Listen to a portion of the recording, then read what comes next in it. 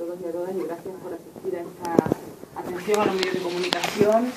en la sede de la Delegación Provincial de Fomento y Vivienda. Me acompaña, eh, como siempre, Encarna, la delegada territorial a la que quiero